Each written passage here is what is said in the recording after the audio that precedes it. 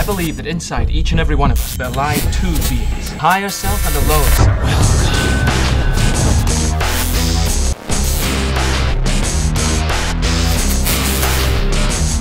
Hello, my semicolon tribe.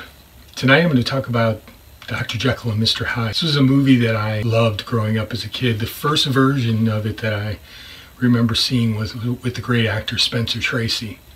It was this really cool black and white um, film back then had these really cool special effects in them. They seem kind of hokey and weird now, but back then, being a kid, it was uh, it was really cool and Spencer Tracy was one of the greatest actors ever. I think Robert Louis Stevenson's story has survived because of the allegory uh, that it represents of good and evil in all men.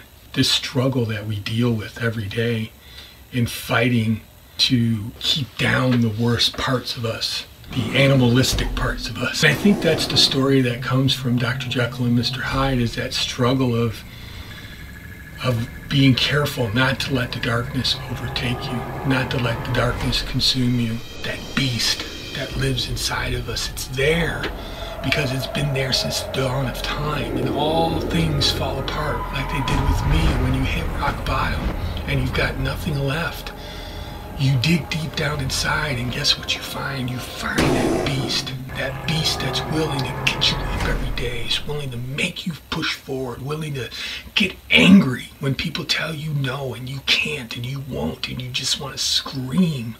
The scream of the beast that's inside of you and say, No, you're wrong. I'm going to make it. I'm going to do it. I'm going to be this.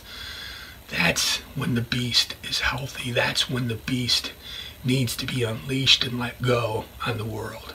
Don't let people make you fearful of the dark side of yourself.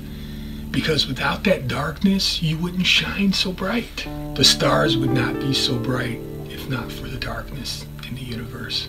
It's the balance that we're looking for.